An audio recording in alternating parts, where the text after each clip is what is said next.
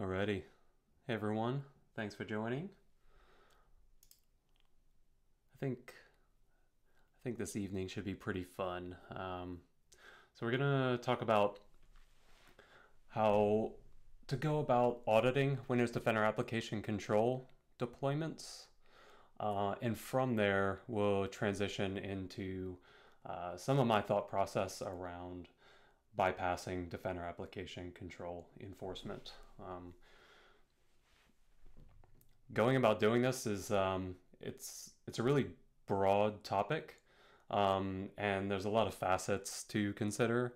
So in the relatively brief amount of time that we have, I'll try to cover as many scenarios as possible, but just don't don't be disappointed if I don't get to a particular uh, bypass strategy that maybe you're interested in. But um, if there is one in particular that you'd like for me to speak to, uh, definitely speak up in chat and I'll see what I can do to try to address that. And um, just be clear, pretty much any bypass that we're going to cover here um, is likely to be covered by um, a mitigation. Um, I would probably caveat that with one exception, which we'll cover, but it's an issue that Microsoft has, has known about. Um, so with that, let's get started. Um, what I'm going to do in this stream is I'm going to do my best to not assume that everyone joining in has all the prerequisite knowledge that we've established over previous streams. So I don't expect you to be um, Defender application control or even PowerShell experts for that matter. Um, so if there are if, if there are any questions along the way, um, certainly certainly ask. I would love for this to be as interactive as as possible. So um, I did mention previously. So let's let's start with uh, auditing. So let's let's pretend we're an attacker and we just landed on a box and we'd like to know if Defender application control is enabled, whether it's in audit mode or enforcement mode. Um, it would be nice to, to know what we're going up against in this potential high security environment. So a couple ways to do that. One way is I think it I think the GUI equivalent is yeah. So msinfo.exe load that up and in system summary, you scroll down to the bottom, you'll see Defender Application Control Policy. All right, so this first one that's highlighted, my understanding is that this corresponds to um, just general enforcement. And so um, I believe this would correspond to um, uh, driver and kernel mode enforcement. Um, and then the, the, this, the distinction being in, in, the second option here that if a user mode policy is explicitly enabled um, and if there's a difference between the two uh, policy enforcements, this is where you would see that. So for example, if audit if a, a user mode policy was not explicitly enabled, I would expect this to I think it would say none. And then if either of these are in enforcement mode, you'd expect it to, to say uh, enforcement. Now, we're not going to really get into a ton of these protections here, but there are some additional um, Defender application control policy protections that you can put in place. For example, you can sign your policies and also have Defender application control be protected by um, with virtualization based security. So uh, at a relatively high level, what that enables is for your code integrity policy to be stored in a UEFI variable. Um, and if it's signed, that's going to be even better because the only way that you can go about updating or removing your policy is by supplying an updated policy that is signed using the authorized signer. So if you don't check those boxes, then the policy is not going to be updated in that UEFI variable. And that UEFI variable persists across reboots. And assuming you have secure boot enabled, um, that policy will always be enforced and it will always be persistent within a UEFI variable. So um, to date, in the previous streams, we've worked with deploying policies to disk, to the code integrity directory. When you enable virtualization-based security, um, Windows will consume that file-based policy, save it to the UEFI variable, and then that is the source of, of truth. Uh, and we'll cover how to audit that if if that's the case. But we're not going to really get into the nitty gritty details of how virtualiza- virtualization based security is even implemented because I'm not even an authority on that. So I can't, um, I won't be able to speak to that. Um, so anyway, this is the, the GUI way to go about auditing whether or not Defender application control is enabled. Of course, we're going to talk about the PowerShell way to do things as well. So this is a this is a built-in commandlet, get computer info. And the last properties here will be device guard, code integrity policy enforcement status. Um, if you're not aware, device guard is the old name for Windows Defender application control. So when you see device guard, think WDAC or Defender application control or vice versa. But it reflects the same, um, all of the same stuff that you saw in the GUI, just in PowerShell.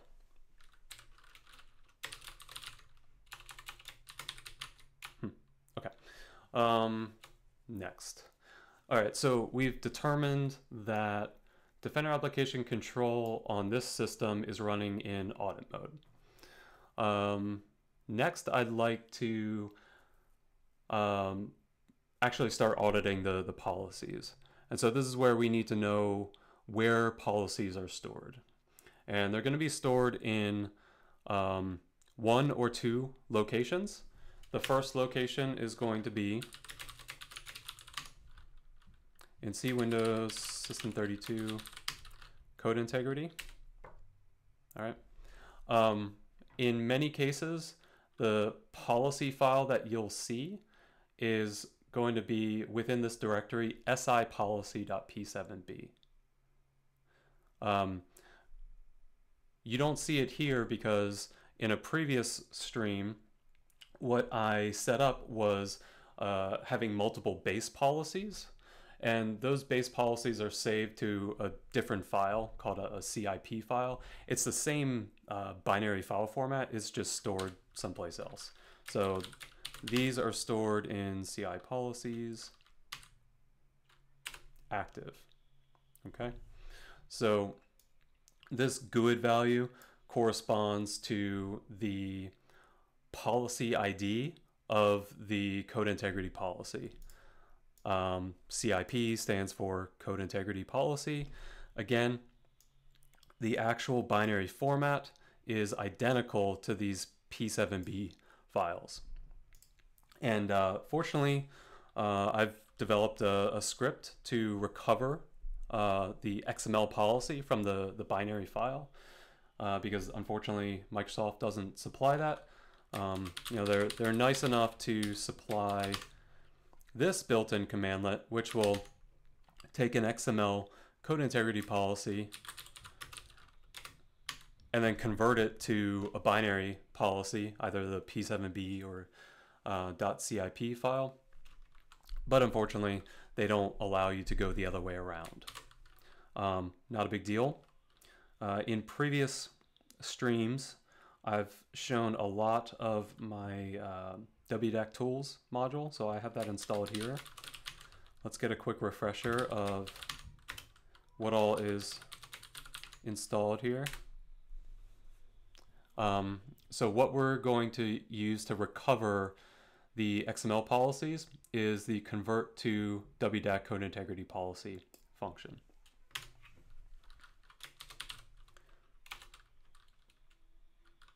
Uh, before we do that though, I wanted to cover the, the other location where you could potentially find uh, deployed code integrity policies. So, for example, in the case where virtualization-based security is protecting your code integrity policies, uh, like via the UEFI variable storage, oftentimes you'll find the relevant code integrity policy in the EFI system partition. All right. So by default in Windows, uh, the EFI system partition is not going to have a mounted drive. So we would need to mount that drive. And there's PowerShell way to do it. Uh, there's GUI ways to do it. Um, there's there's uh, disk part to do that. Um, since I'm kind of a PowerShell purist, we'll we'll use PowerShell to do that.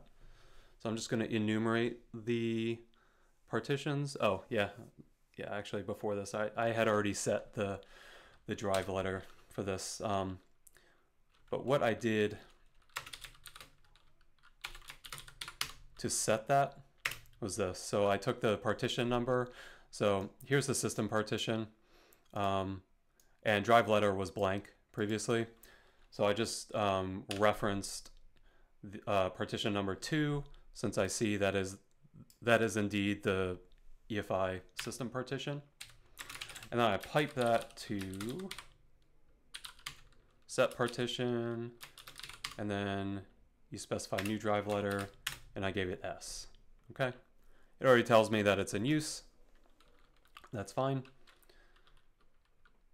And now I should I should have that drive available. Yep. Okay. Yeah, one of the nice things about PowerShell is that whenever a new volume or uh, partition is, is mounted, um, PowerShell will automatically populate a new PS drive so that you can do an ls on the newly mounted partition.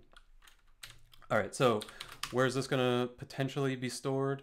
It's going to be in EFI system partition, Microsoft boots in a P7B file.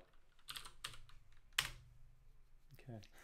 Uh, when there's a custom policy that is deployed via the EFI system partition, it's going to be named sipolicy.p7b.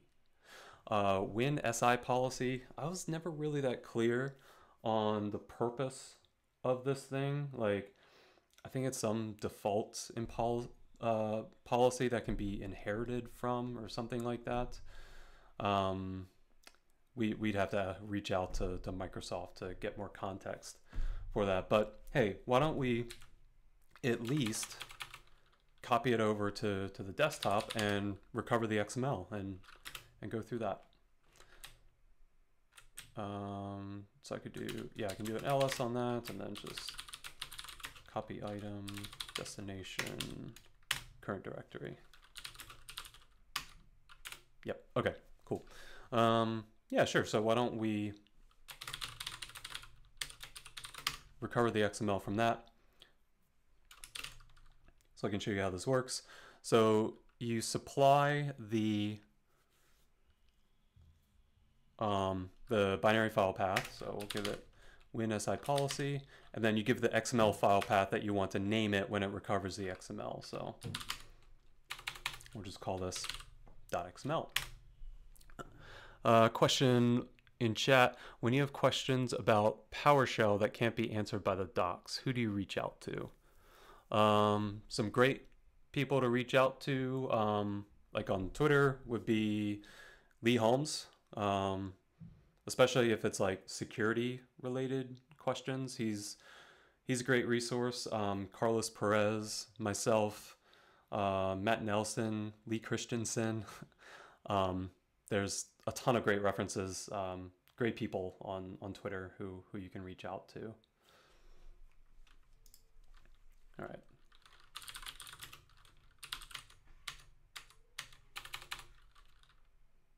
Oh, let's see.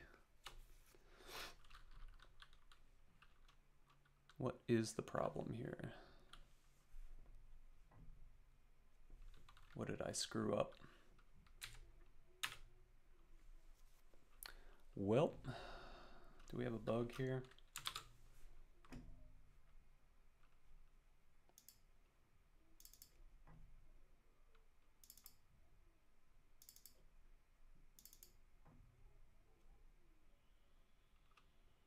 Could this possibly be related to code integrity enforcement? All right, so this is located in WDAC tools, um, WDAC auditing.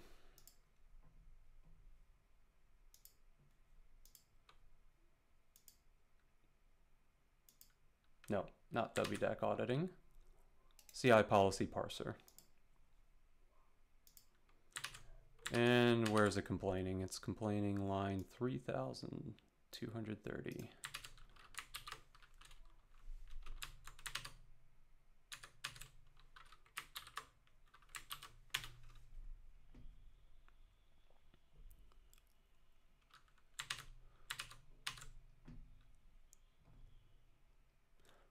I hope you don't mind live debugging. Um, I personally don't mind it.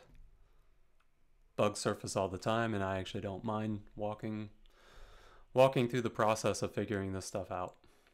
So it says that this type is not loaded when new object is being called. And this is something that this is a like a .NET type that I defined in the script. So we'd have to figure out why that type is not being loaded. Because there should be a call up here to add type. Yeah, so like here's all the C sharp source code, which I call add type on. All right, and I check to see if this type exists. Let's kind of, let's just manually validate that. So, okay, that is there. So why, why is supplemental signers not present? Let's see, we can search for that. Supplemental signers.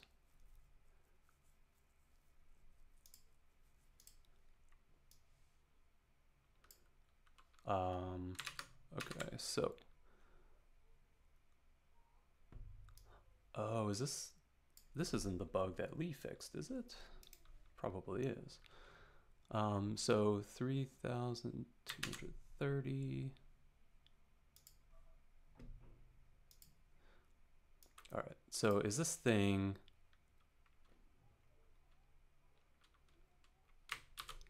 even defined? Yeah, I'm pretty sure Lee Christensen fixed this for me.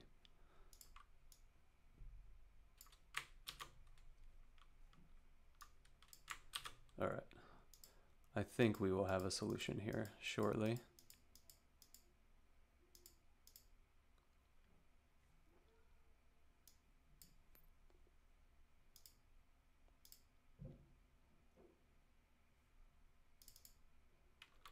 Supplemental policy signers, could that be it? I think so.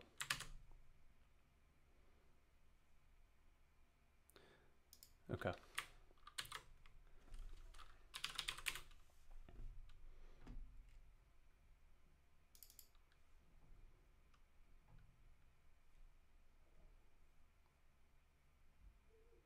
Oh yeah, so right. So I create an array of supplemental signers here and then iterate through something and then create a new supplemental signer. So, okay, yep. I'm pretty sure this is the bug that Lee Christensen submitted a PR for and I just haven't bothered to update this in my um,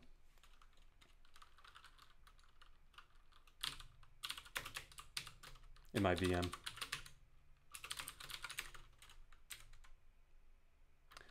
Oh, you know what? Uh, let's see.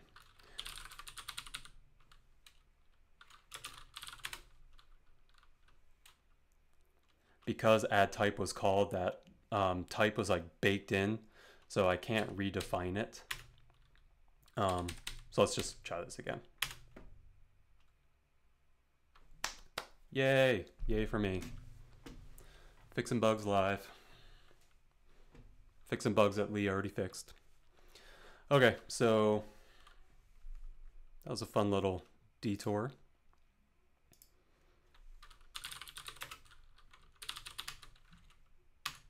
let's look at that XML. All right, so remember this came from the EFI system partition.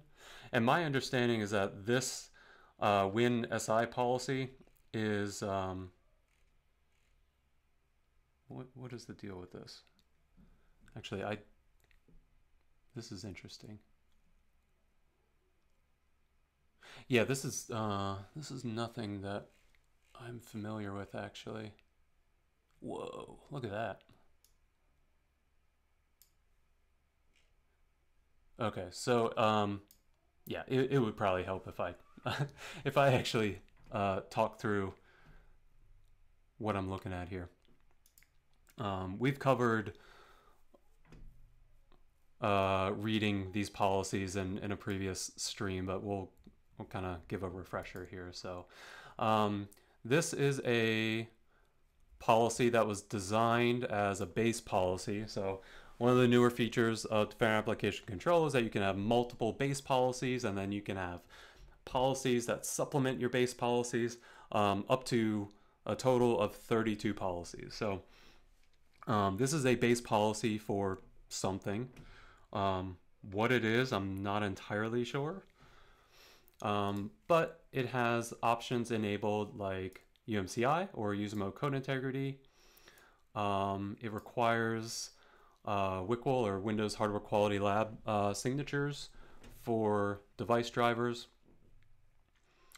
Um, developer mode dynamic code trust um, is related to, I believe that setting is related to this blog post that I put out many years ago um, on a generic, um, well, it was called device guard at the time, device guard uh, bypass where any signed code that compiles C sharp code on the fly and then loads it into its process was subject to code integrity bypass. So this feature was uh, was implemented to to mitigate um, that class of, of bypass. Okay, apparently this this base policy is designed to be supplemented. Um, if if deployed and enforced, um, if somehow this policy was to um, screw up and the operating system would not boot, we can still recover it by getting back into the advanced boot options menu, um, disabling uh, code integrity enforcement. Of course, like in, in order to do that, you'd have to disable uh, secure boot. Um, but there's um, there's a, a ripcord for us to, to pull if, if we needed to, if something got screwed up. Um, it's applicable to Microsoft Store applications. Uh, it can be updated without having to reboot. And um, conditional Windows lockdown policy. Uh, I forget what that is. And I think James Forshaw has a blog post on it.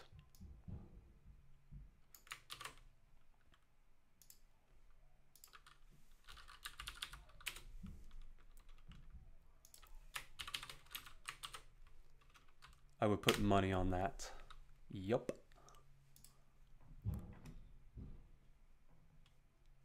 So James has developed many a bypass as well. All right. So anyway, uh, you can you can read his post on that. Um, yeah, it's it's interesting. Um, Okay, so EKUs or enhanced key usages. One of the cool things about Defender Application Control is that you can supplement your rules with specific EKUs. And I mentioned previously, like what these are for is um, it's a way that you can um, specify a specific purpose for a code signing certificate. So for example, um, anything. Oh, okay, well, here's a good one. You know that something is signed, is Windows signed, that is Microsoft signed, but using a special certificate that is only applied to signed code that's um, built into the operating system if this EKU is applied. Okay. And so I, I think it's cool that you can have like very granular uh, policy um, by specifying the, the EKUs to apply to a rule. So we have a bunch of deny rules in here. Uh, some of you pen testers, red teamers may recognize some of these things as um, potential bypasses. So MS Build, one of the, the big ones out there, um, that's great at subverting code integrity enforcement, uh, assuming you don't have an explicit block rule for it. Um, that was discovered by, by Casey Smith way back in the day. Uh, I discovered this one um, maybe a couple years ago. Um, so I don't, yeah, I mean, it seems as though there's fairly decent um, block coverage here, but let's see, I'm trying to think. Yeah, I found run script helper. I'm just like going through my mental model of like all of the um, code integrity bypasses using uh, like Microsoft or Windows signed code that come to mind. trying to think through if like anything is missing here. Um, I know, well, a Microsoft signed one that comes to mind uh, that Casey Smith found was uh, msxsl.exe, like a really old uh, utility that is signed by Microsoft. It's not Windows signed. Um, there's also BGInfo. Um, that's one of the tools Microsoft signed in sysinternals that um, that Advar discovered back in the day. So like that's not included. Um, I'm trying to think like are all of these Windows signed utilities? And I believe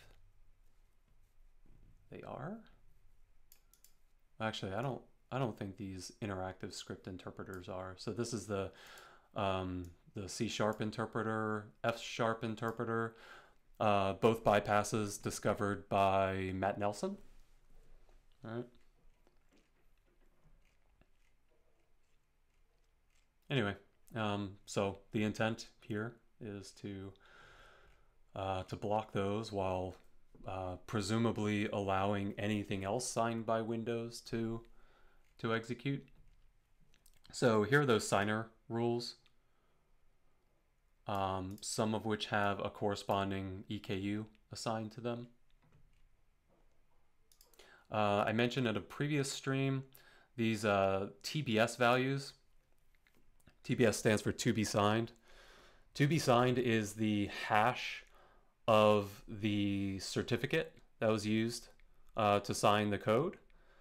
Um, where a TBS hash differs from a thumbprint is that, here, let me show you a thumbprint, what that looks like.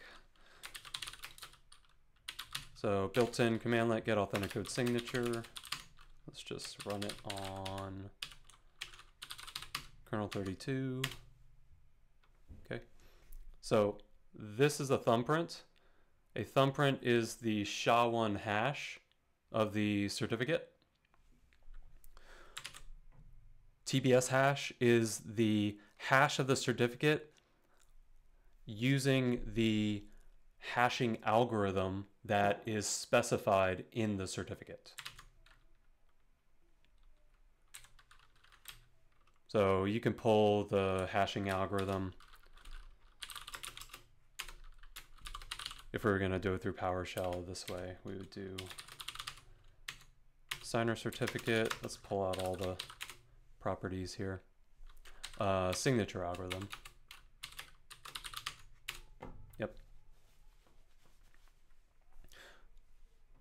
So the TBS hash of, in this case like this certificate here, if it was to be hashed, it would be the, the SHA-256 hash of the certificate.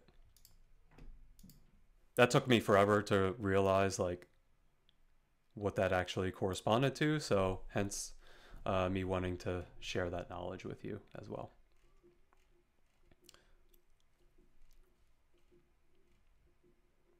So like, I don't actually know what these correspond to. Um, we'd have to do some digging to kind of reverse like what these actually correspond to. And of course this is kind of uh, interesting slash concerning. Um, I don't know. But also like this WinSI policy um, is not actually utilized to my knowledge. Um, but anyway, it's it's definitely a, a an interesting find. All right, now here is the the driver specific policy. So for the driver rules, we only have allow rules. Okay, there are no explicit deny rules here. For as far as the um, so this signing scenario refers to the user mode policy. So when you see signing scenario windows, think that's that's the uh, user mode policy. So we do have those explicit deny rules applied, as well as some allow rules.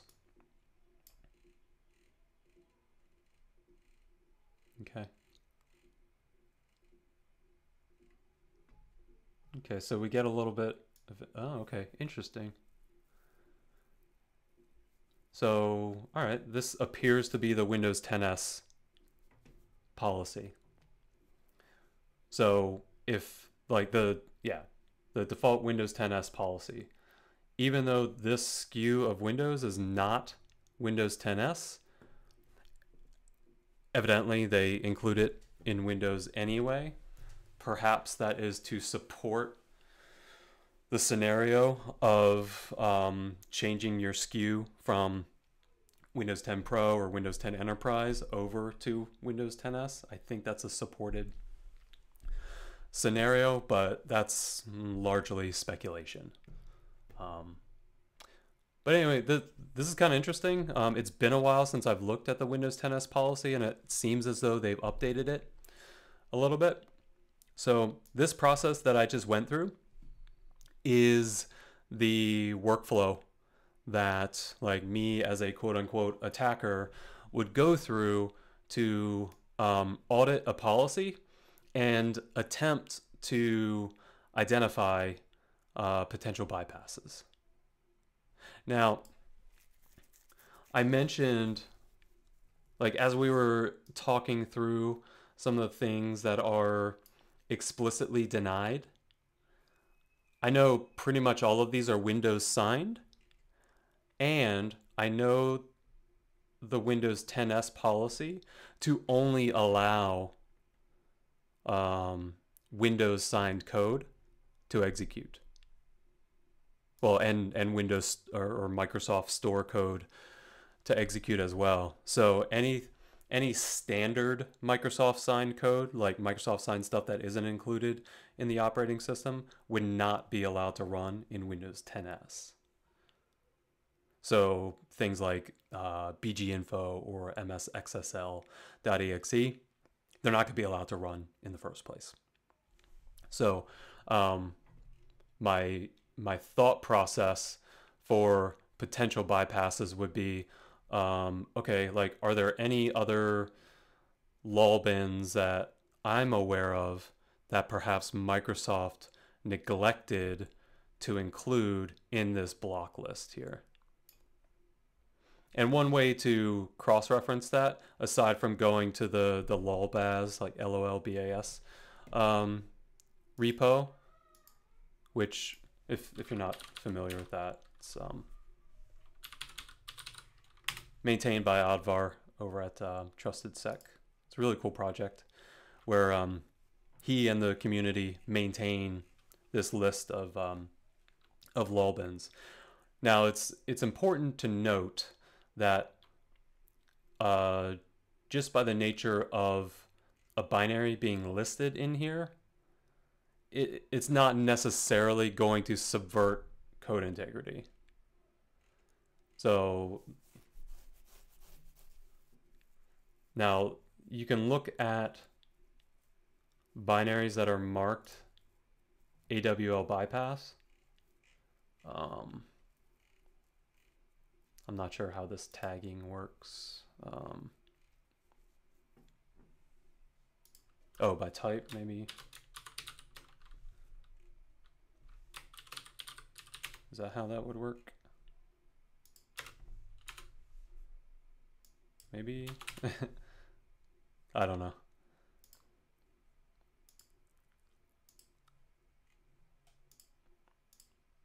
Come on.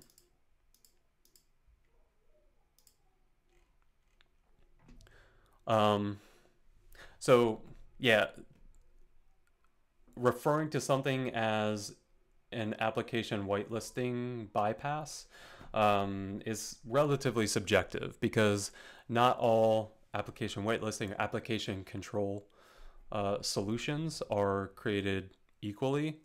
For example, Defender Application Control um, enforces code integrity on all portable executable files. So that includes exes. Well, assuming you have a uh, you've enabled UMCI, user mode code integrity, it's going to enforce policy on any portable executable file, regardless of its extension, like DLL.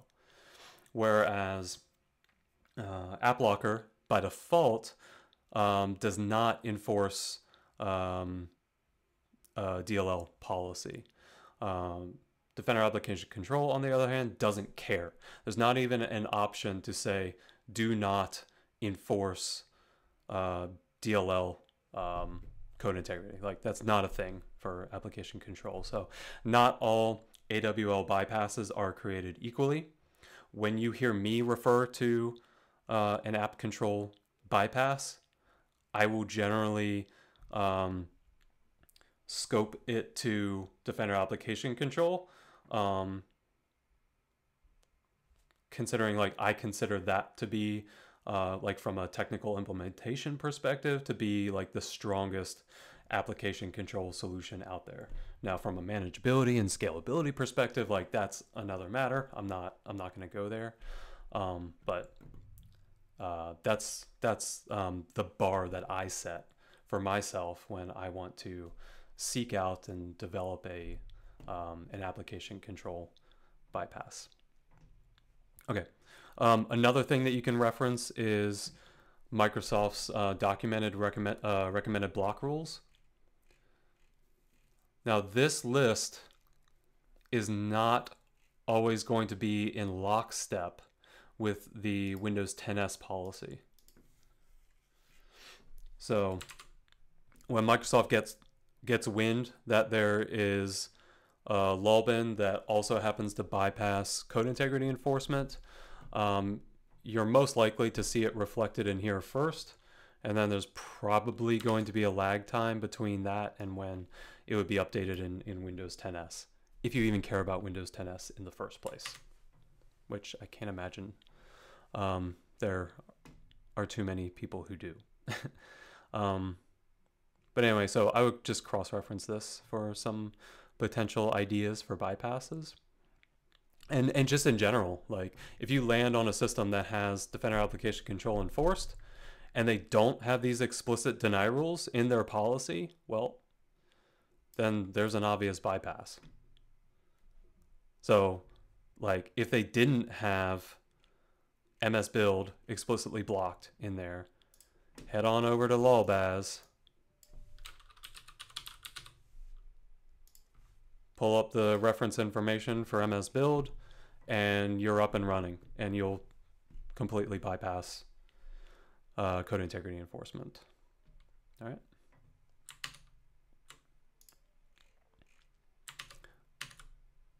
Let's go back to actually recovering the policies that I have deployed to this system instead of messing around with that uh, Windows 10s policy. All right, so the binary file path we want to recover is in C Windows System 32, code integrity. Now there were two um, CIP files in here. All right, so we'll call this first one just policy zero.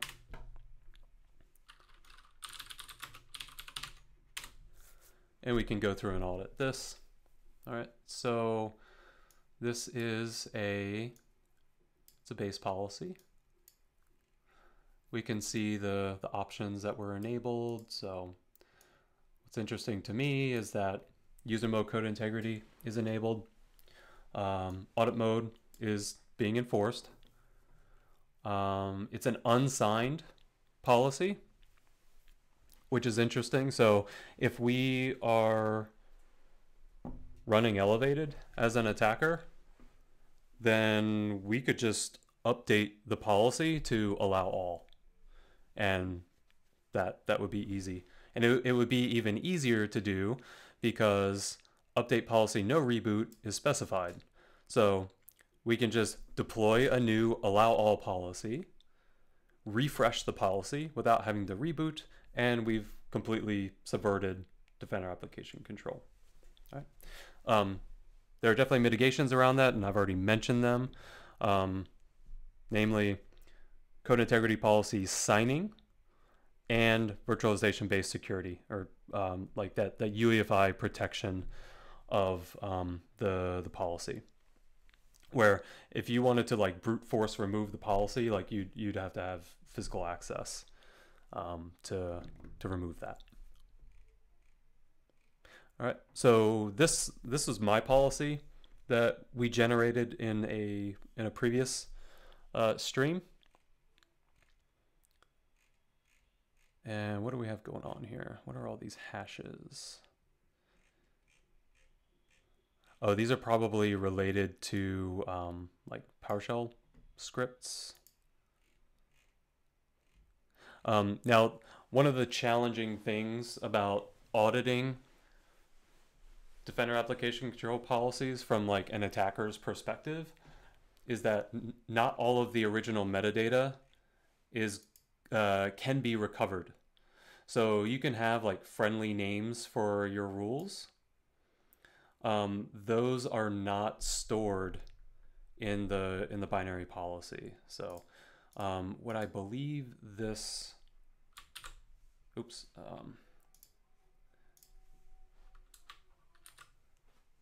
one sec. Okay. What I believe this policy corresponds to is uh, this this one here, merged.xml. So let me just show you this here for comparison. Yeah, here we go. So here are all these um, allow rules followed by the, the hashes. And then let's go over to policy zero. All right. So let me just double check as a sanity check that, for example, this hash is present in there. Yep, yeah, it's in there. And um, the, the, the order of these rules is not always going to be maintained when you recover the policy. Um, so you just kind of have to deal with that. So between the order not being maintained, which like me as the person who developed that script to recover it, I, ha I have no control over uh, recovering the original um, order in which rules were declared, nor can I recover the um, the friendly name properties. Again, because those are not um, uh, the those are not present in the binary policy. So there's nothing that I can do when I recover those. So I try my best. Um, so anyway, like that, that's what makes this a little more challenging to, to audit. Okay. So we have some more allow rules. And um, yeah, there are no explicit deny rules in here.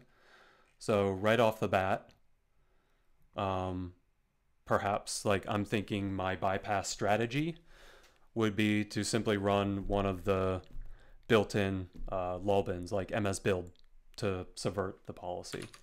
But remember, there was another CIP policy in here. So we'll recover that. Call that policy one.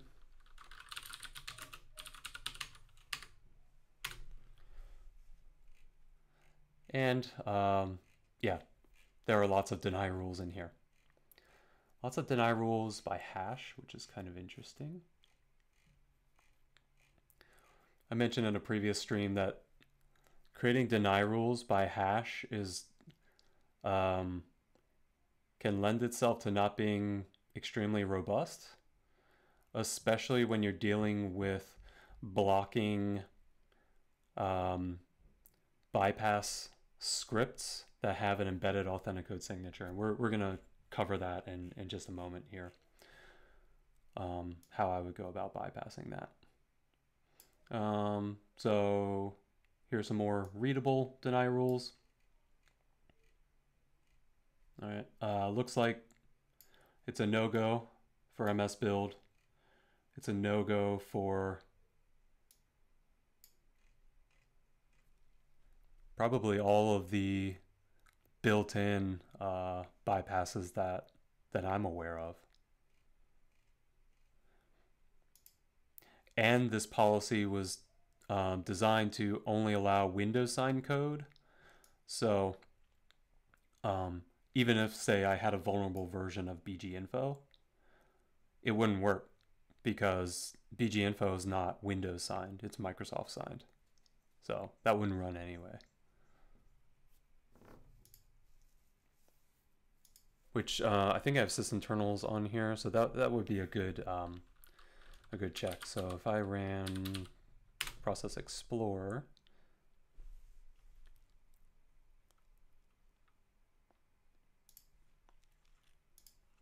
Okay, we got that.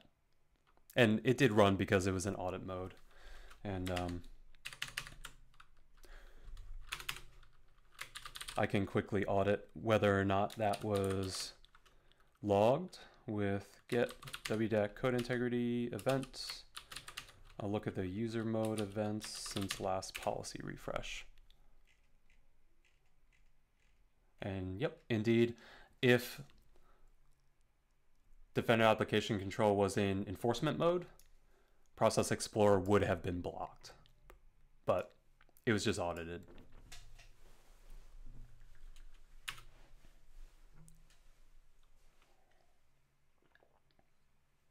All right.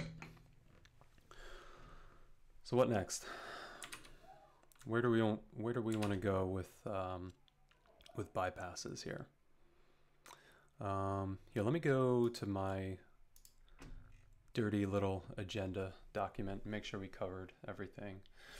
All right, so we've covered how to determine the enforcement status of Defender Application Control, um, locating and recovering binary code and uh, integrity policies. Cool. So I think as far as like auditing is concerned, um, there's a lot more that could be said um, related to like auditing methodology. Um, that's all kind of boring in my opinion. Um, so I, I say we move on to, to bypasses, um, especially in, in the interest of, of time here. Um, if there are any questions related to auditing, please ask away.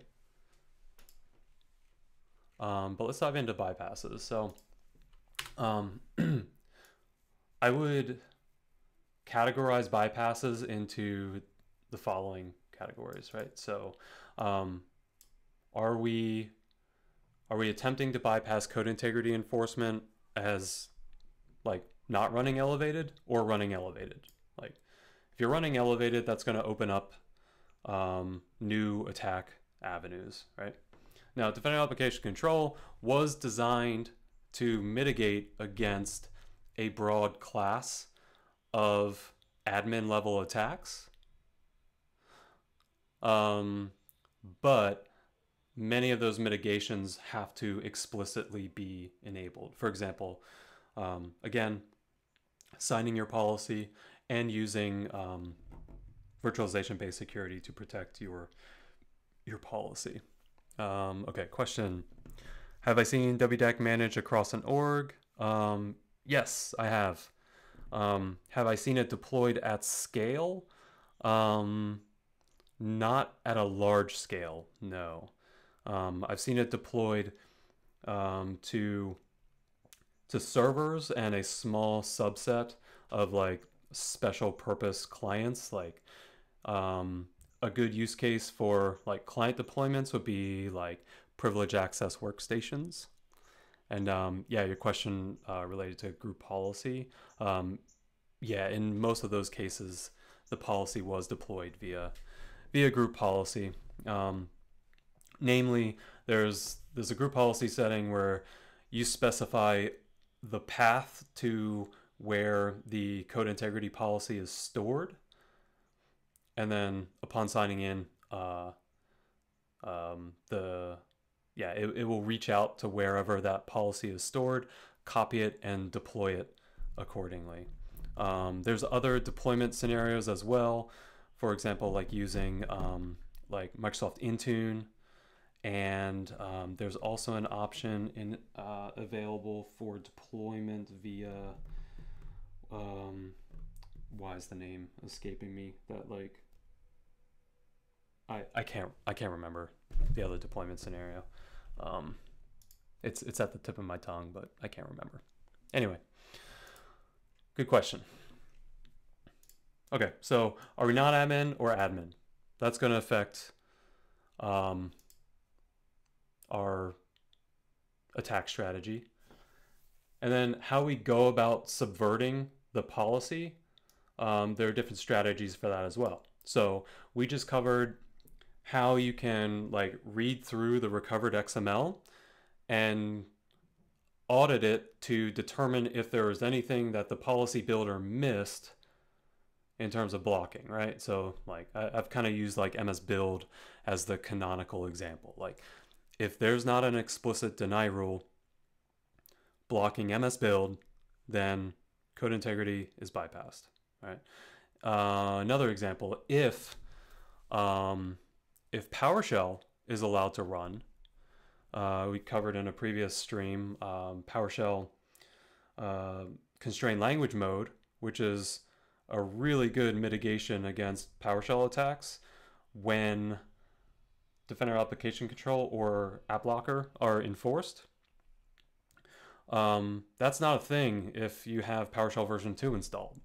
Like PowerShell version 2 does not understand uh, constrained language mode. So there's another potential bypass. So um, if you have PowerShell v2 installed by default, um, I would certainly recommend removing that. Um, Lee Holmes also did a blog post on how you can uh, use code integrity to block previous versions of the PowerShell DLL, uh, system.management.automation.dll. So that, that's a great uh, resource if um, via code integrity policy you want to block older versions of, of PowerShell that are not um, constrained language mode aware. Okay. Um, another strategy would be uh, Defender Application Control implementation bypass. Um, so what do I mean by that? That could be like a that, that could be like discovering a new lol bin that uh, was previously unknown. It could be if there's a fundamental flaw in the implementation of Defender Application Control. Um, there's an opportunity there. Um, and then there's code signing implementation bypasses. We're going to cover one of these in, in a minute um, in relation to uh, script signing. And then as an admin, um, if you're dealing with an unsigned code integrity policy, well, then you can just update it to have an allow all uh, policy, or you can just disable the policy, but um, that will likely require a, a reboot to take effect.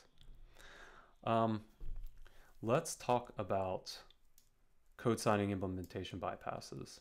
So I did a post a while back on, where are we? Here.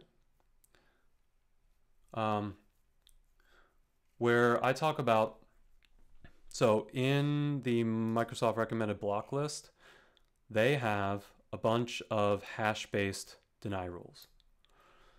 So I was interested to know like how we how I could go about bypassing those rules because like blocking by hash is potentially problematic, right? So let's say that let's say that there was a assigned PowerShell script that was coded in some insecure fashion that I don't know, for example, allowed us to call add type.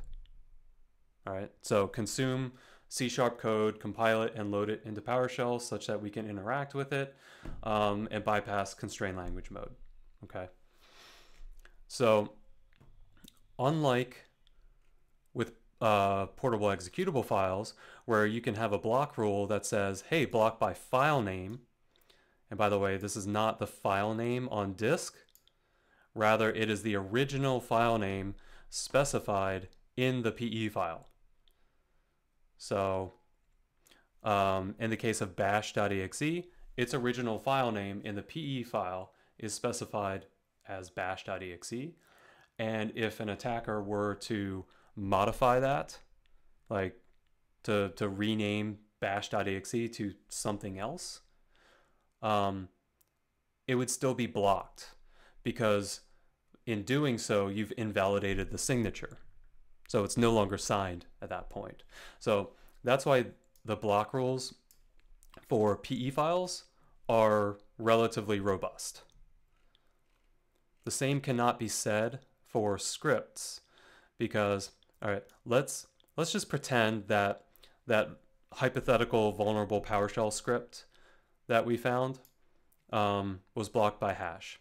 Well, Microsoft would ideally have to go through their historical code bases to find all variants of that same PowerShell script. Because, like, let's say throughout history, there were various updates made to it, but updates that didn't address the fundamental code integrity bypass. Microsoft would be on the hook to try to uh, identify all of those vulnerable scripts and then create um, uh, hash-based deny rules. Um, now, another thing that they could, well, one one consideration is that here. Let's look at let's look at a, a PowerShell script. Well, uh, let me just let me copy it over. So I'm just going to take a random PowerShell script. Um, a couple weeks ago, we looked at some of these absolutely horrid scripts. These uh, Windows troubleshooting pack scripts.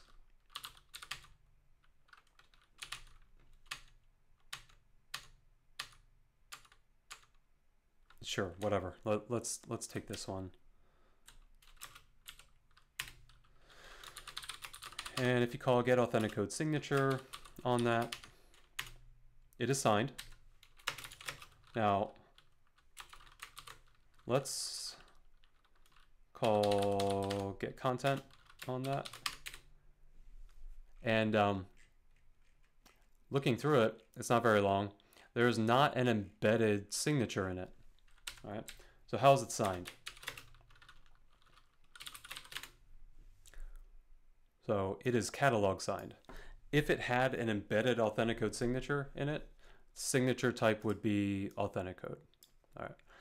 A catalog signature, if you're not familiar with these things, is um, where are these things? C Windows, cat root. Yep. All right. So in this directory are a ton of these .cat or catalog files, which are essentially a list of hashes and that list or the, the .cat file itself is signed.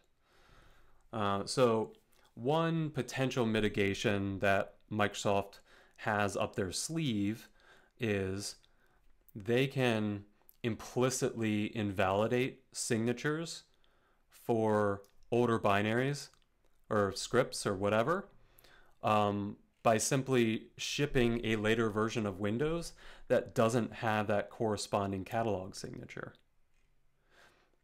So what that means is like, let's say that this script was vulnerable today, and we could use this to subvert code integrity enforcement, Microsoft at a later date fixes this. And so, and then they ship Windows with the fixed version, which will be signed. But then when they ship Windows with the new version, the hash of the old version will no longer be contained within these catalog files.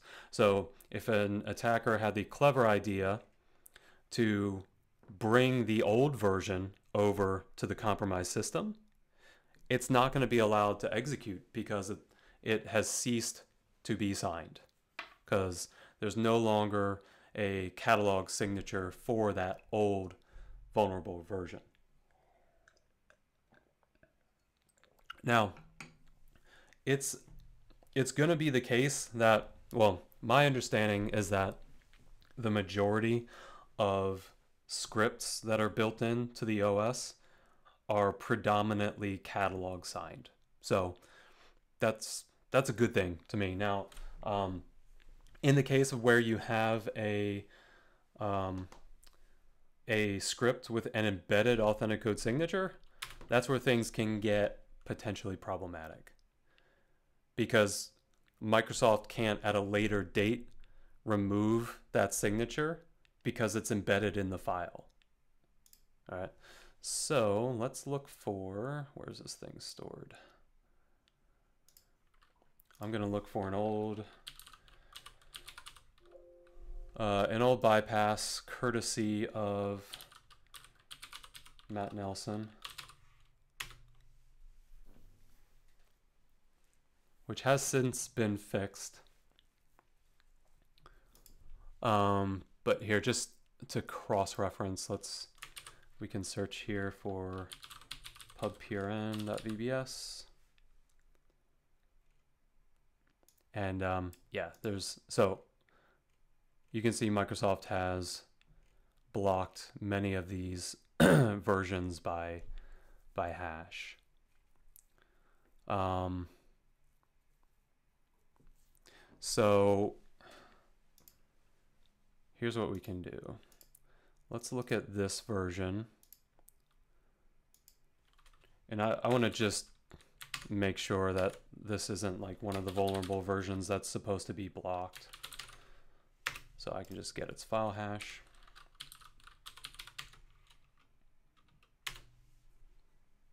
And how are they storing the hash in this policy?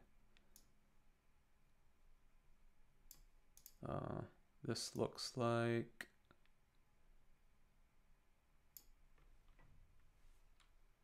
Is that a SHA-256? Probably.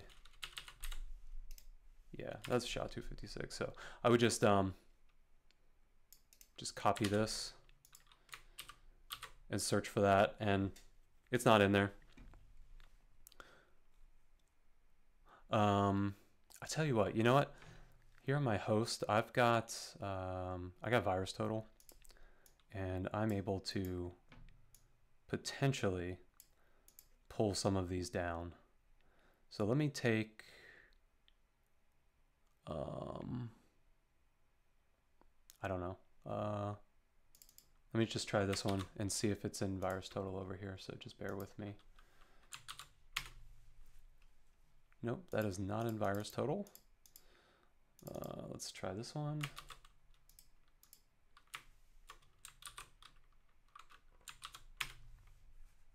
That one is not.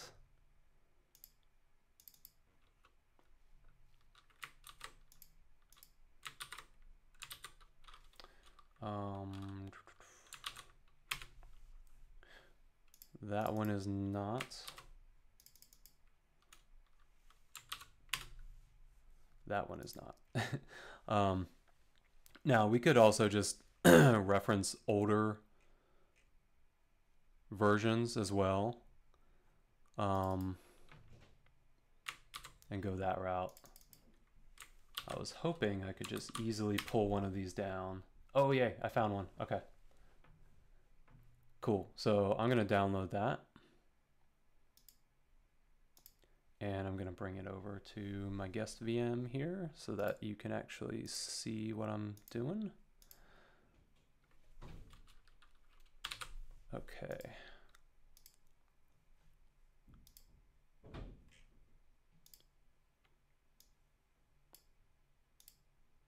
Right, here is our pubpern vuln dot vbs. All right. So if we look at this file,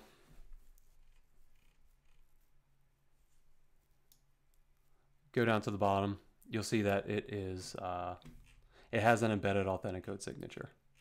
All right. Now I wonder, does Matt have a blog post on this?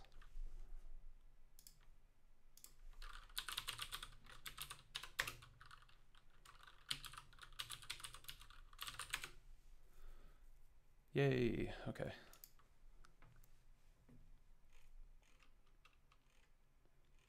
All right, so what's he doing here?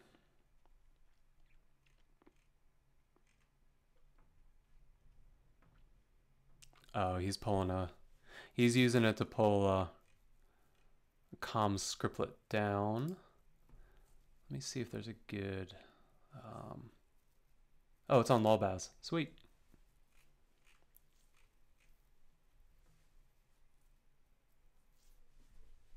Okay. Um, where's this stored? So let's do this.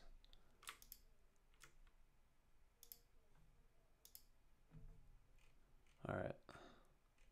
Pop calc. Let's try this. Um, so theoretically, if we do this and call pubpern vuln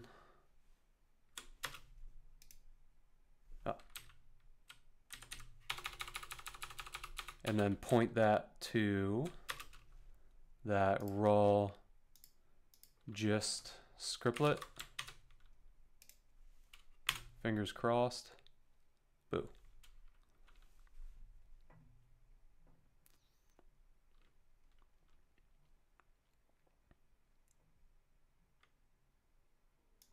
Um, ah, script colon.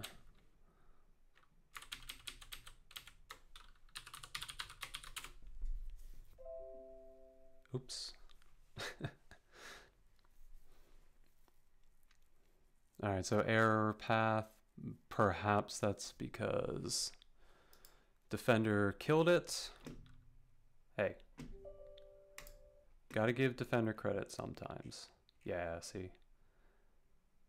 So yeah, it blocked the um the the cached version.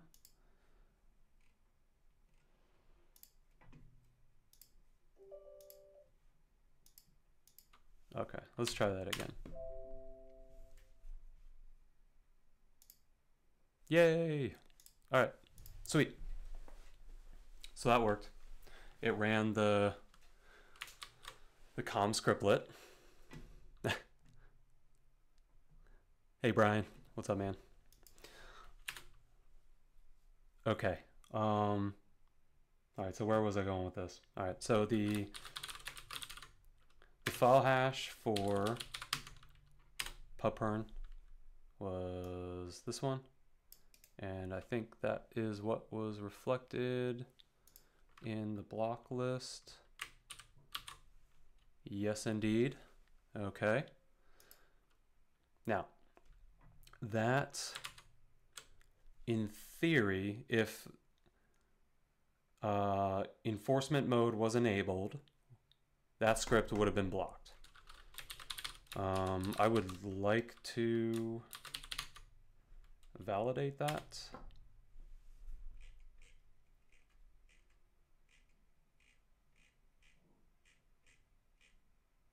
Yeah, okay, awesome. So that, that would have been blocked. Um, as a refresher, uh, any, any script-based policy in your code integrity policy, if it is audited or enforced, um, those are logged in the app locker uh, script and MSI event log. So um, and WDAC Tools has a dedicated function to, to pull those out. All right, here's the fun part. All right, so what do we do with this? So it's blocked by hash. And let's just assume that this is the only vulnerable version that we'll ever be able to find. Okay? Only one, ever. Um, what what options do we have here? So we can, here, let me make a copy of this since we're gonna screw around with this. go to edit. Um, and let's go back here. And I just would like to prove to you that PubPern is indeed signed. Again, this is the one that I pulled from VirusTotal. Um, but by the nature of it having that embedded AuthentiCode signature, there is no catalog signature um, that Microsoft can later like invalidate, invalidating the signature of an older version. Okay. So this is signed, um, but it is currently not allowed by policy because there's that hash rule in place. Okay. Now, what if I just like, what if I attempted to somehow modify the file hash? Um, because if I modified the file hash and made it such that it retained its valid signature, then it would be allowed, right? So I don't know. What can I do? Like just add a add a new line there? Nope. Signature is invalidated. I can't do that. You want to see something funny?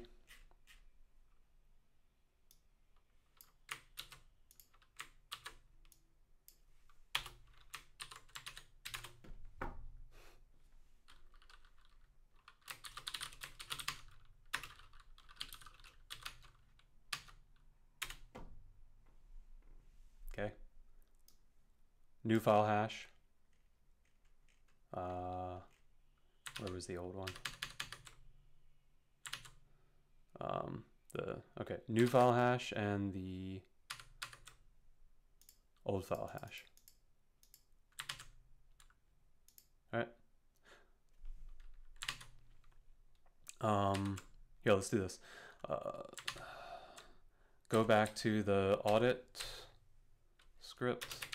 Let me just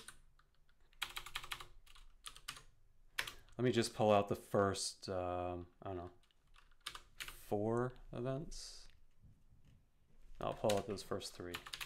All right, so these are these are the old ones, right? So uh, actually, here, look. So get file hash. Um, this happened to use uh, SHA-1 file hash, so that's fine. This is the the original version. Uh, let's specify SHA-1. Okay, yep, so we have a match. The SHA-1 hash of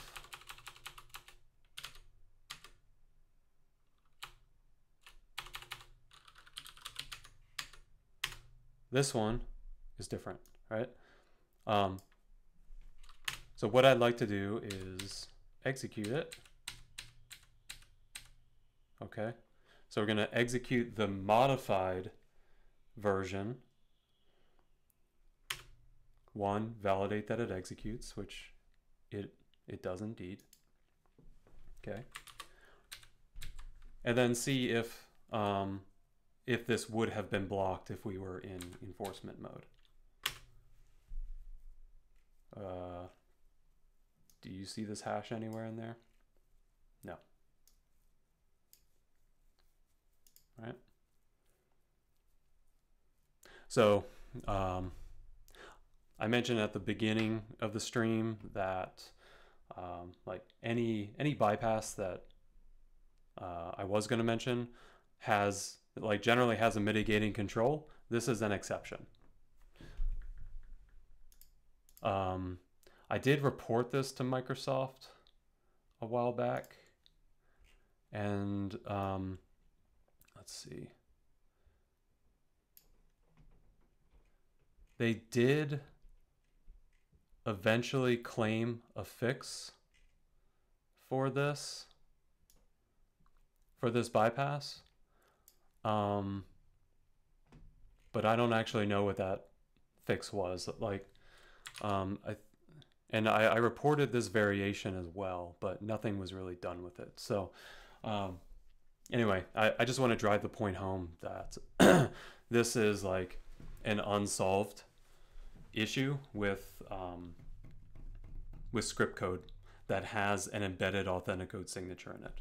So again, just to um, to summarize all this, the scenario is you have script code, so like PowerShell, VB script, JScript, that have an embedded Authenticode signature in them, meaning they can't later be invalidated due to uh, a refreshed uh, catalog signature. And they are vulnerable such that they allow subverting code integrity policy, as is the case with pubprn.vbs. All right. So as you saw, it was blocked by hash. And again, there is not a, by the nature of these being scripts, there is no metadata contained within the script like there is within PE files, a la original file name, from which uh, a more robust block rule could be implemented. The only choice you have is to block by hash. So Brian has perhaps a stupid question. No, there are no stupid questions. Um, but anyway, the, the question is, can you use that to actually inject meaningful executable code into the section that doesn't break the signature? No. So if I understand the question correctly, um, can I use this like this bypass trick to, I don't know, maybe inject code like down here at the bottom? I don't know.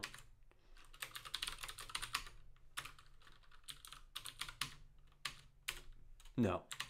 So I can't put it there. Um, I can't put it there. Okay. Um, there's a lot of different variations that could be attempted, and um, the the answer is no. You, um, I have not found a way in PowerShell or um, uh, VBS or JScript code to modify the signature such that you can insert executable code. Caveat. Um, I did report a vulnerability where um, you could inject um, so there, there was a file confusion, like a signed, signable file confusion vulnerability I found, where I took the um, the cab and the MSI file format, both of which are file formats which can be signed. And every signable file format, if it supports having an embedded Authenticode signature in it, the way in which those signatures are inserted and the way in which the file's signature is calculated is dependent upon the file type. So, for example, an MSI file, um, when its signature is calculated, it's not just a raw like file hash. It's like the, the signature isn't like, okay, what what is the the file hash of the file up to where the signature is. No, it's it's more complicated than that. Um, there's a collection of fields or streams within the file format that are only considered uh, when calculating the hash against which the signature is validated. And so the idea that I had was to consider like take the cab or the MSI file format, hunt through um, signed MSIs or cabs built into the operating system that have an embedded authenticode signature. So, I mean, I, I basically did the equivalent of like this lsc colon star recurse include if I was just looking at MSI, I would do that, right? And then for everyone returned, I did get authenticode signature where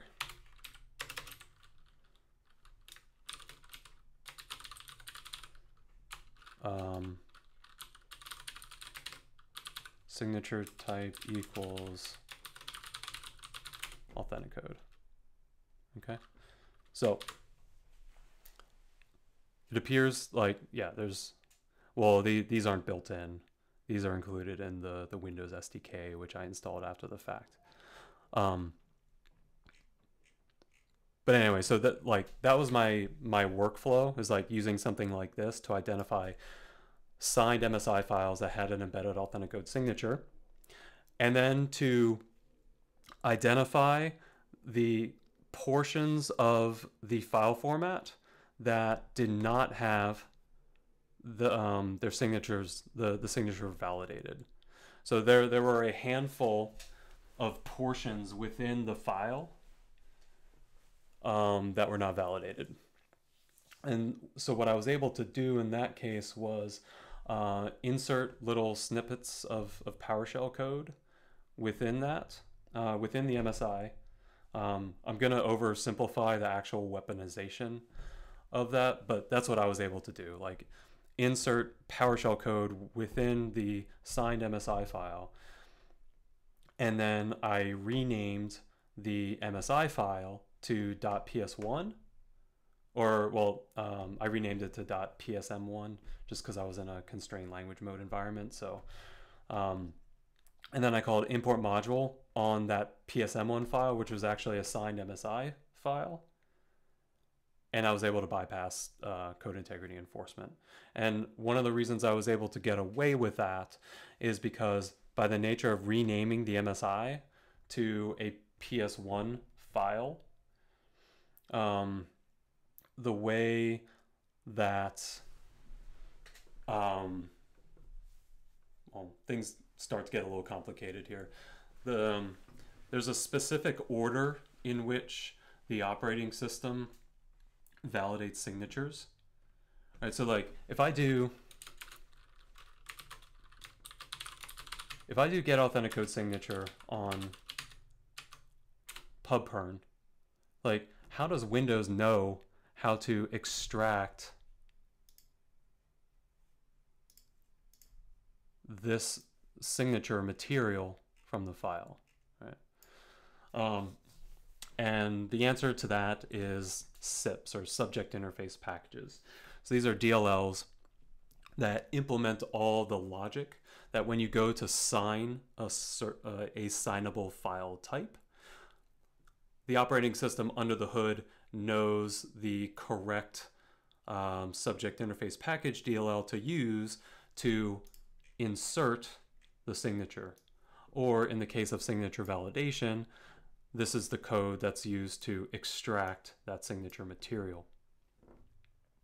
Um, now, the way some um, signatures are retrieved can depend on uh, magic byte sequences in the file, or they can depend upon the file extension. So the more robust option, if it makes sense to do so, would be to identify a file, a signable file type based on magic values.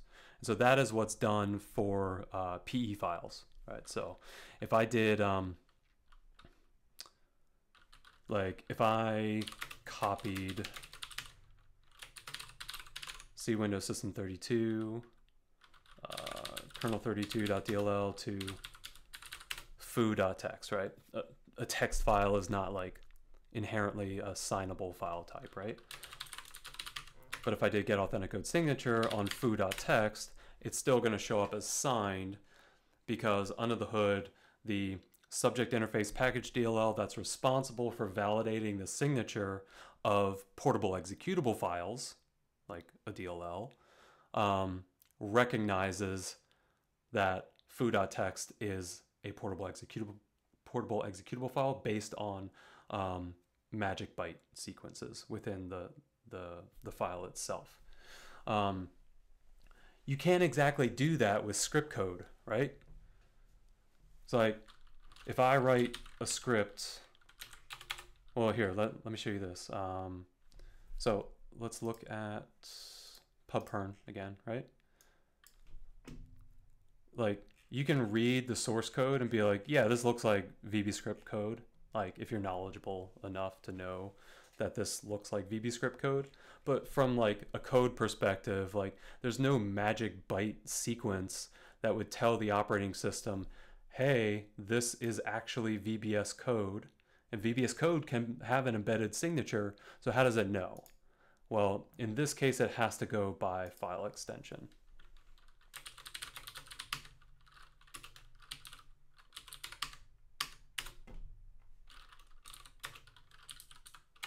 But if I copy this to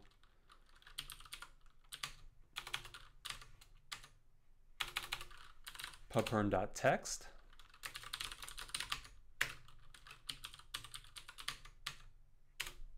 all right, uh, Windows gets confused, all right.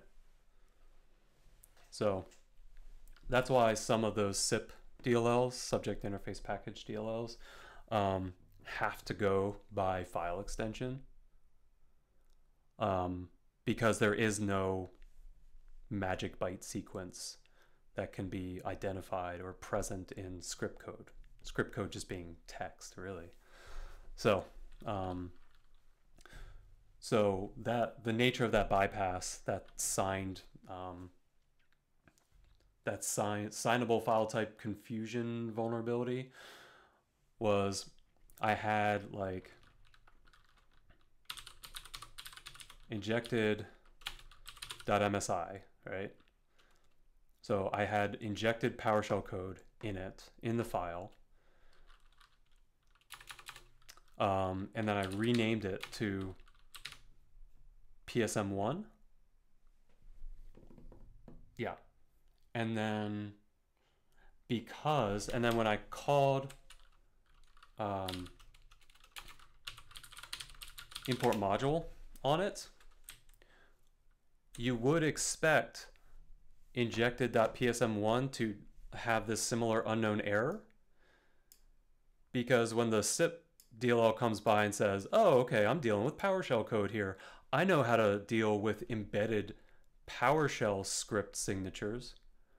But then it would probably be really confused when it sees this like seemingly arbitrary byte blob, which is actually an MSI, but because MSI sign signable uh, MSIs are considered uh, prior to PowerShell signed code, and MSIs are identified as um, based on byte sequences.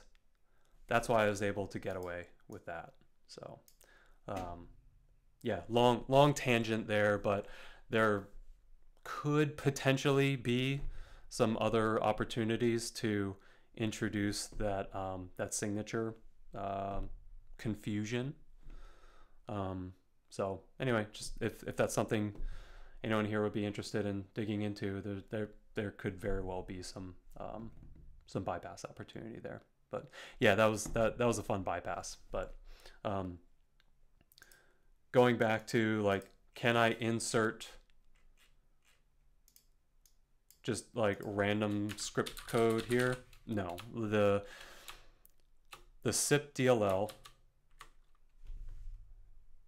is smart enough or is robust enough to tell the difference. All right. Cool. All right. Um, are there any questions about that class of bypass?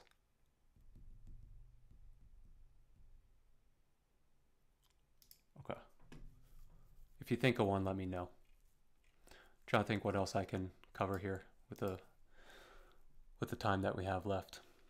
Um, so I did mention if you happen to be running elevated and you're in a scenario where you have a deployed policy where the following boxes are checked.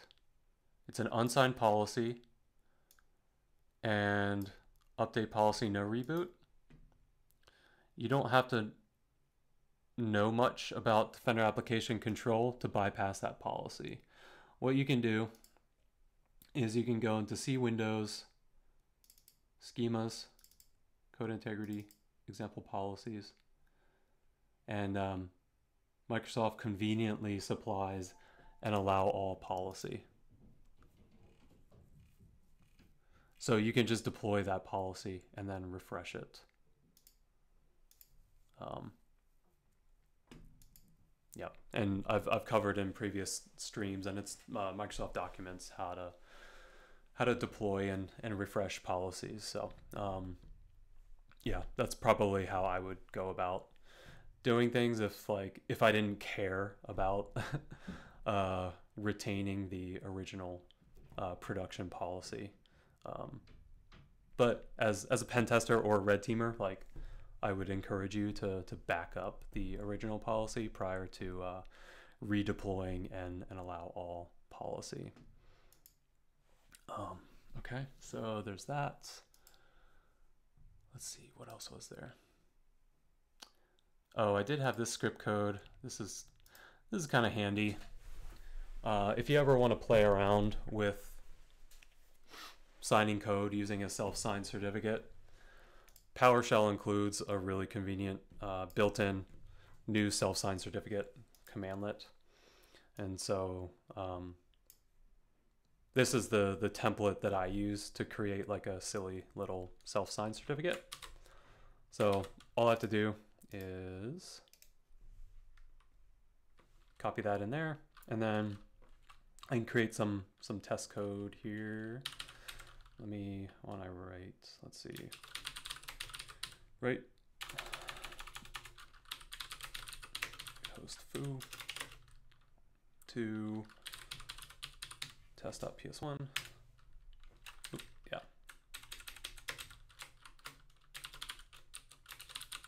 Okay.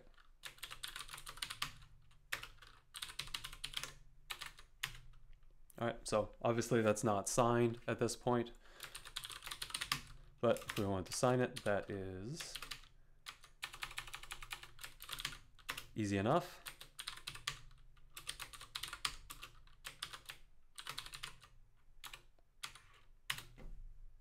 Now signed.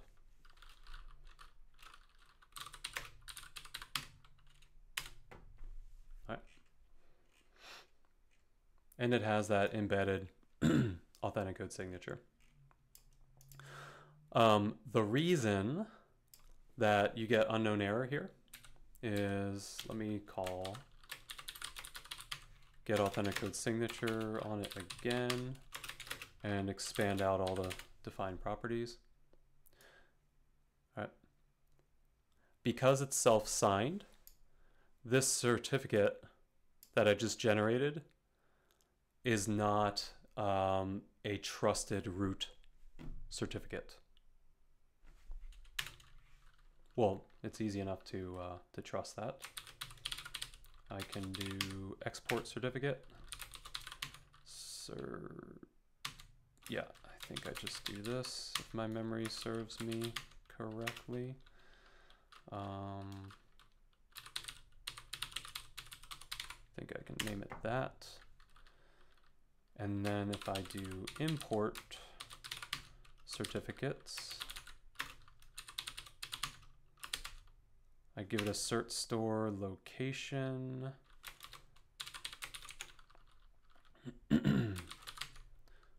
Current user root. I get this nice little prompt. I hit yes. Now it's a valid signature because I just trusted my self-signed certificate as a trusted root certificate. Um, okay. Last thing I wanted to show you, just while we're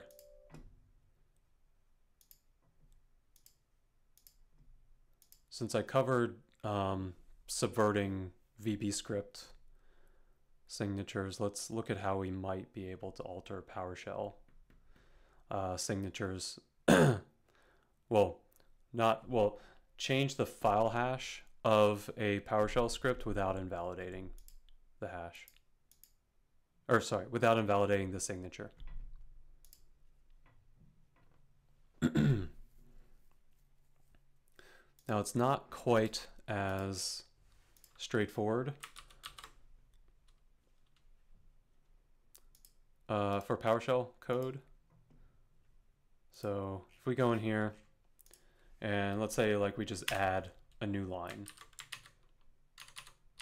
and then check the signature on that. Okay, it's it's no longer signed. Okay, let's go back. I just reverted that change and it's valid. What if I did the same thing that I did before? All right, so just appended that and removed that line. Nope. So here's a slight um, SIP or Subject Interface Package DLL implementation difference across uh, signable types. It appears as though the SIP DLL for PowerShell is a little more robust because it doesn't allow us to, to do that. All right, so what other options do we have? Um, last time I played with this, what you could do, let me see if this still applies, is with a hex editor.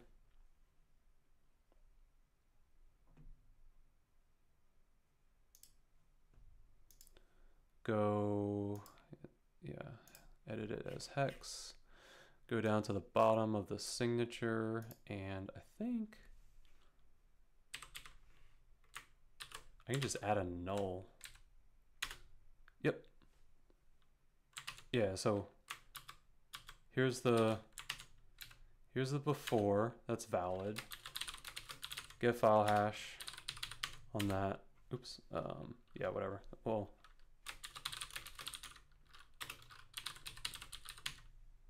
okay, so there's the original file hash, and then just by the nature of me adding a null byte to the end.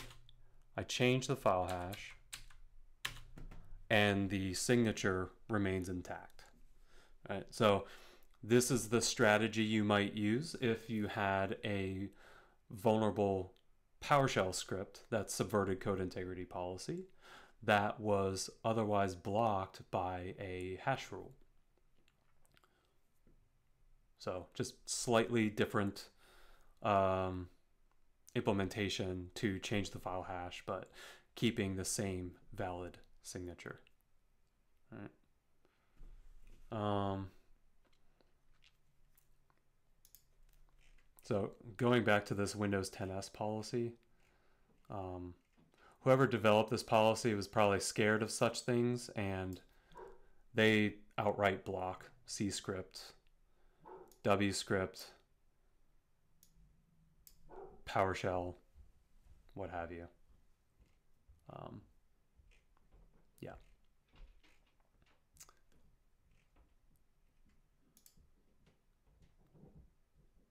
Cool.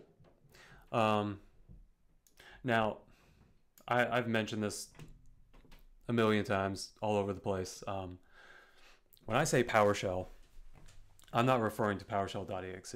I'm referring to the underlying PowerShell DLL, right? So system.management.automation.dll. So therein lies a potential issue if you're outright blocking PowerShell.exe. Because the question is, are there any other built-in PowerShell hosts that we're not accounting for in our block rule. Here's another one. Okay, that was fortunately blocked. Okay, um, so let's see here. Here's what I'd like to do.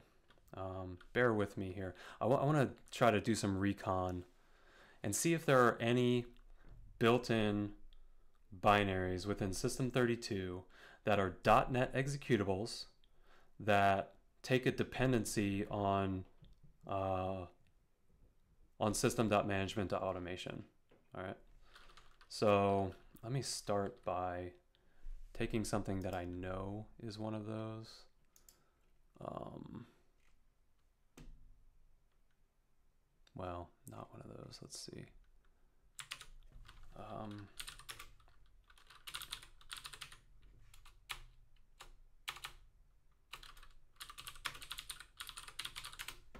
okay, I know that is a um, that's a .NET binary that's in System 32, and the way I would like programmatically make that determination is, um, is I might do something like this. Um,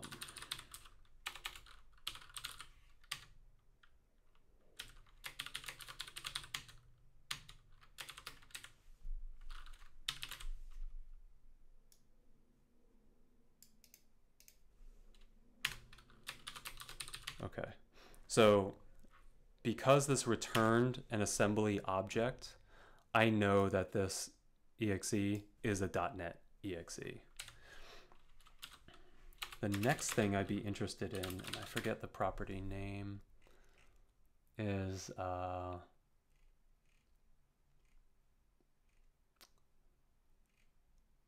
let's see, maybe it's in Oh, is it a method? Get, yeah, okay. Get referenced assemblies.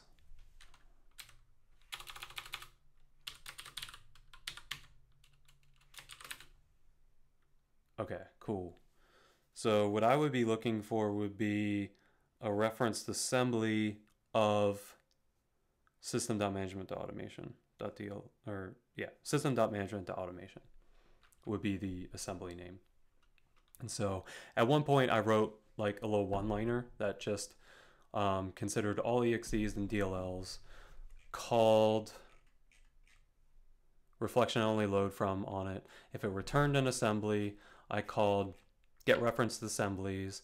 And if system.management.automation was one of those referenced assemblies, then um, I was interested in that. So like one of the ones that came up was, let me change this to store diag.exe. All right. There's a reference to PowerShell. So store diag.exe does something related to PowerShell. What it does, uh, we don't know, uh, but we can find out because by the nature of it being .NET code, we can simply decompile the executable and effectively recover its source code. So I'm here in dnspy, I'm going to go to File, Open,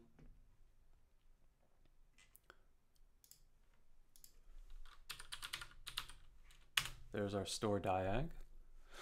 And what's convenient is I can just click on um, this main comment and it'll take me right to the entry point method. And um, yeah, we don't we don't have a ton of time left here, so I'll try to breeze through my analysis.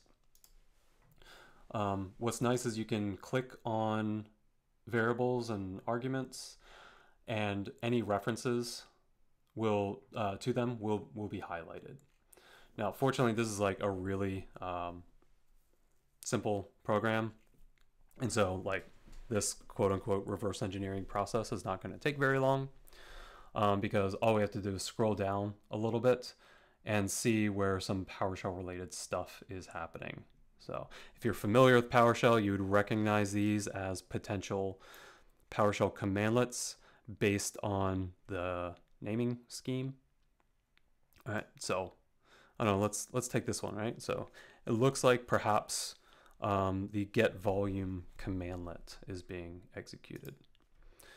So it takes the um, the commandlet name as a string, and what does it do with it? So it creates this PowerShell run space. It adds the command via this add command method, and then it calls invoke on it. So like my question would be from a bypass perspective, um, are there any command line arguments to store diag.exe that I could supply that would execute PowerShell on my behalf? And the short answer to that question is no. Any PowerShell related functionality happens by calling uh, a literal string to execute a PowerShell commandlet. Um, now, could there be an opportunity here to indirectly get execution? The answer to that would be maybe. To answer that question, you'd have to ask yourself, or just ask, how does PowerShell know what, in this case, get volume is? Like, so let me just start a clean PowerShell session. So I did dash NOP or no profile, just so I don't want to load up any extra modules. If I type get volume,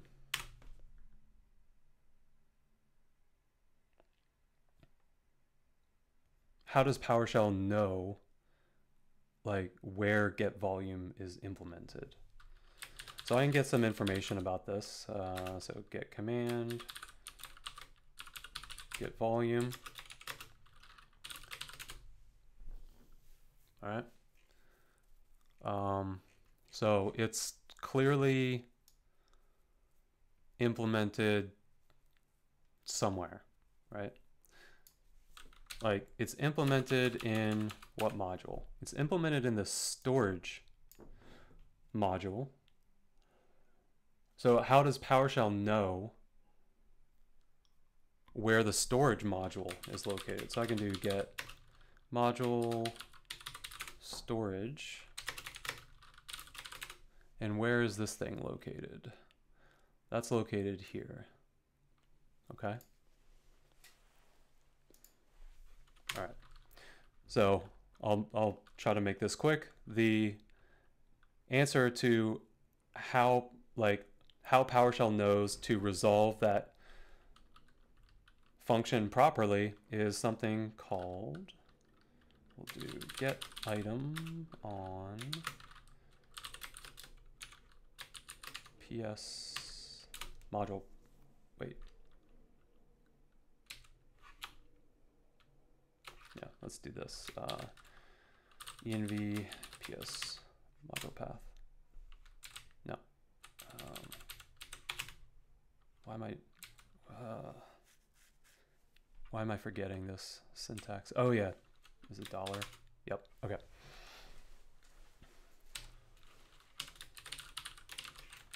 Just so the output's a little, little more clear for you. Uh, there's something called uh, module auto loading. So when I typed get volume, here, and I'll load up another PowerShell session and I will show you all of the modules that are currently loaded. Okay, get volume was stored in the storage module, right? But that module isn't loaded, but I still was able to call get volume and then the storage module was loaded from from here. All right. But the way uh, mo module auto loading works is it, PowerShell will look in this order, in this specific order. So you saw that that PSD1 file, that module manifest for the storage module, uh, was located in Windows uh, System 32. So could there be an opportunity, perhaps, for us to um, hijack execution or hijack the module load order? And I think the answer is yes. So let's try that. Um, go in here. Okay, that directory is not defined, nor is that. That's okay. Here, let's do this. We'll do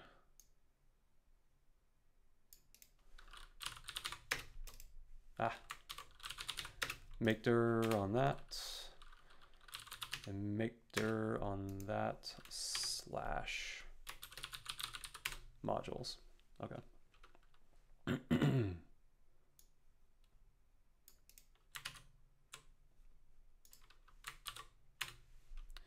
now, to define a module, what we need to do is we have to create a module name and store it within a folder of the same name. So let's call our module foo module.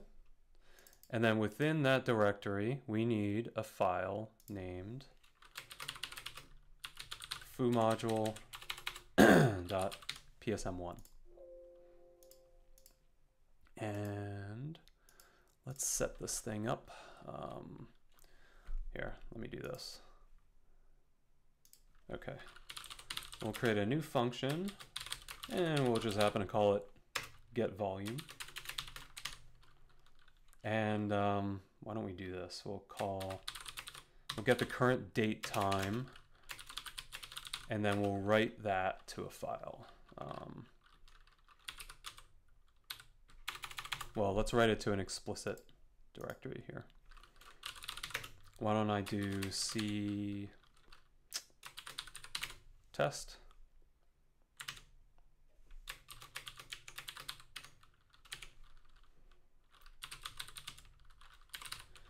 And we'll just, anytime this runs, we will append it. Oops. Um, so I'm going to put that in here.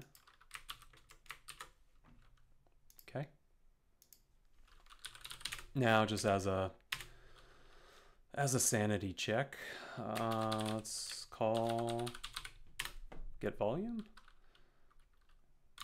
Now, is that owned dot text there? It sure is. All right. So now, if I do get command on get volume, you now see that was loaded via my hijacked module, foo module. All right. Now, let's get this test going. Um, just to show you, I'm not playing any tricks on you. I'm going to delete owned.txt. Okay, that is no longer there. And here, why don't I just do this in a separate prompt.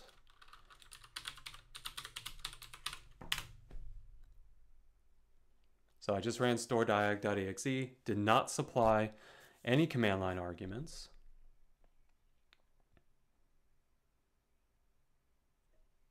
Uh, it, it takes a little bit to run. I, I don't know what it's doing. It's doing like storage diagnostics apparently, and that takes time.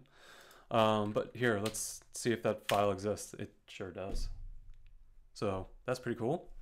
Um, now, this bypass does not, because of the way that this implements its PowerShell logic. This particular executable is not subject to a constrained language mode bypass. So that's good. Um, but I wanted to show you this specific like security research example of going from, um, yeah, so here in uh, Win SI policy. This is the Windows 10s policy. You see PowerShell.exe and these other PowerShell hosts, including like I know this one to be a bypass like PowerShell host, um, are explicitly blocked, but uh, I can still, fortunately, on a Windows 10s system, like if I was really, really wanting to get PowerShell code to run, I would have that option. Um, by executing store diag.exe. So I don't know about you, that that was kind of fun. Um, hope hope y'all enjoyed that. Um, are there any last minute questions before I sign off here for the evening?